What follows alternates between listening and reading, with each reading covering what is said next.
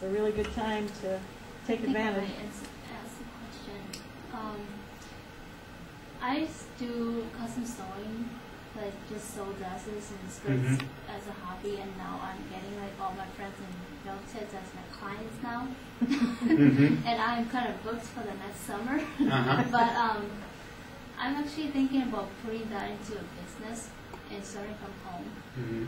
Since you did work working at your own garage, how do you go about revamping that into an actual business?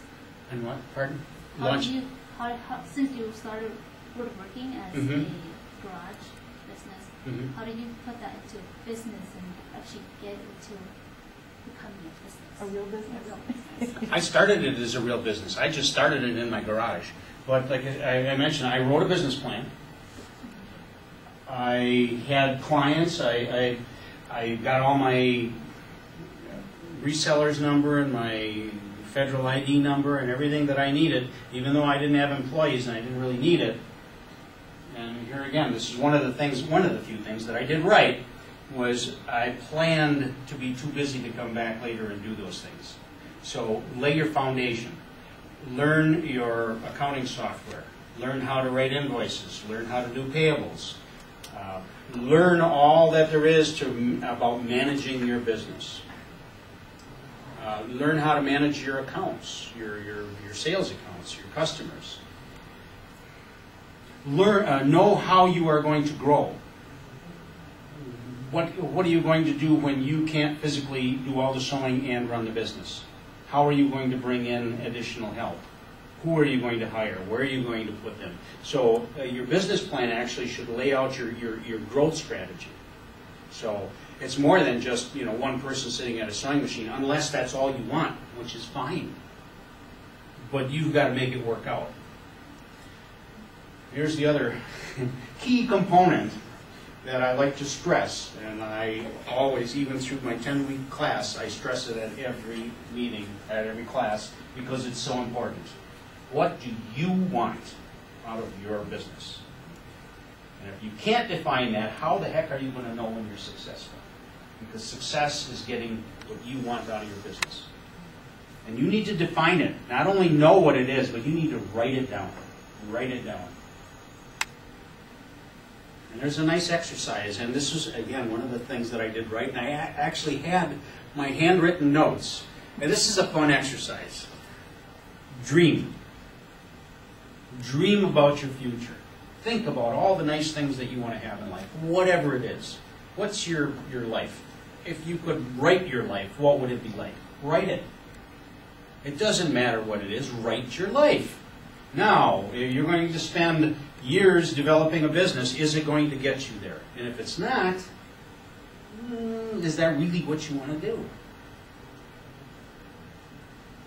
So, for you, thinking about what, what do you want out of the business, if, if you have uh, modest financial goals and you want to have time for friends and family and do things, you got to see if that's all going to come together. I had one student in Wapaka two years ago, and he's speaking to my class on Wednesday. And he came into the class and he exemplifies that type of thinking. And I, I'm so glad that he could come back and speak to our class because he came into the class, he wanted, he wanted to start a carpet cleaning business. I carpet cleaning business? Oh, okay, whatever.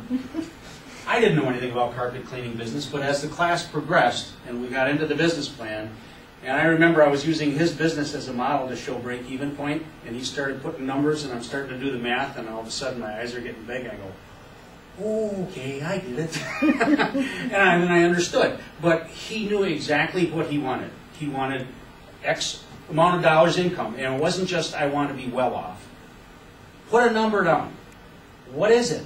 Put it down. If it's fifty thousand dollars a year, if it's seventy thousand, if it's two hundred thousand, put it down. He knew what he wanted. Most importantly, he wanted time. He did not want his business to consume him. And he wanted time to spend with his two young boys who were into baseball, and he loved to coach Little League, and his family and his wife. That's what he wanted quality of life, and he wanted a reasonable income. And he built his business to achieve that. And he did it. And that's what he's doing. He, and I tried to get him to speak to our class last summer. He couldn't because he was coaching Little League. Good for you. You know, he's got his priorities, so he knows what he's doing.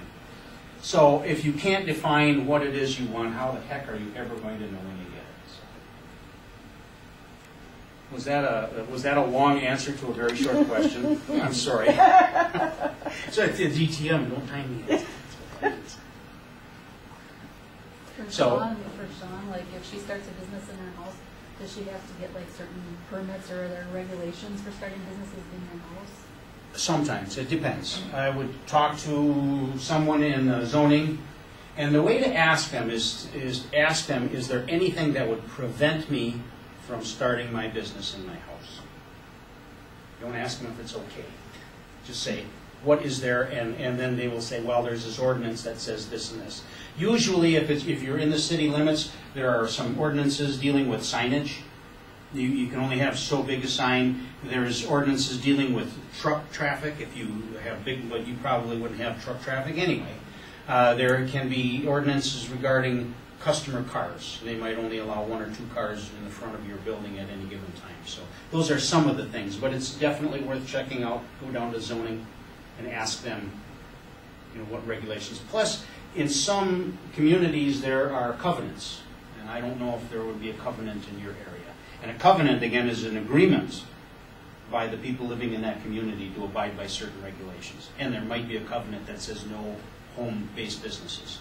So, those are just a couple things that you might want to check out before you jump Another into question is, um, if I finish writing my business plan I want to make this into a real business, um, would I still need to get, say, I, I want to use my own money to start this?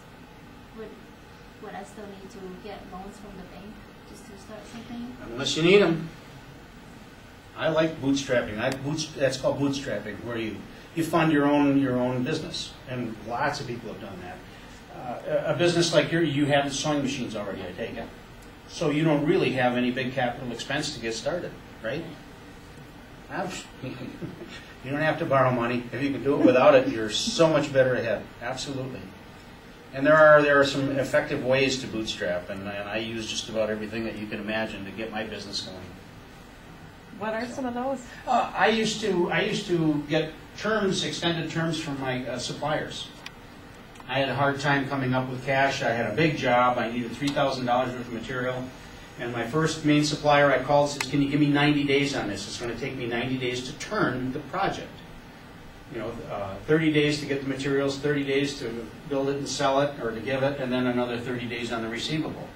And the first uh, supplier said, no, can't do it. So I called my second supplier. I said, this, you know, and I told him the same story. He said, oh yeah, sure, we can work with you. And I had my business for 18 years, and guess who was my main supplier for 18 years?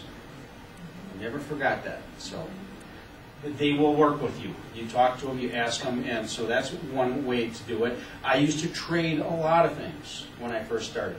Somebody had something uh, that I needed, and they needed something from me, so I would make something for them for this, you know. So I did a lot of trading and a lot of swapping. So there are all kinds of ways that you can build your business without really get, having to borrow money. So.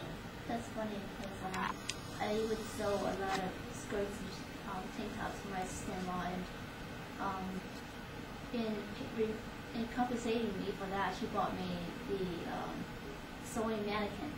Oh, So that really helped me.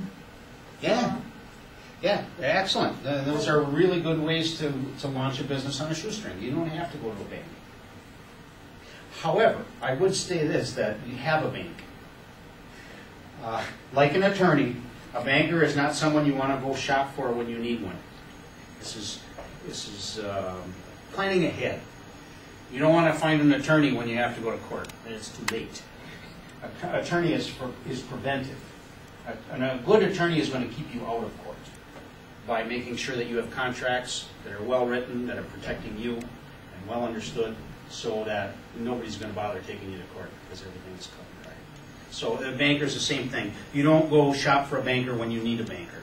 Find someone that you feel comfortable with, get to know them, get, tell them exactly what you're doing. I may not need you, and I hope I don't, but if I do, is this something that